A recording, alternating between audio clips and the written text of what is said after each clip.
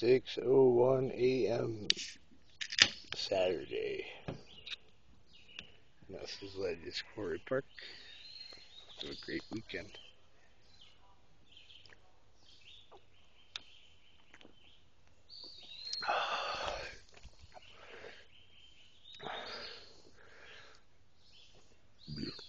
About to cook some breakfast. Got some firewood. People let us camp out.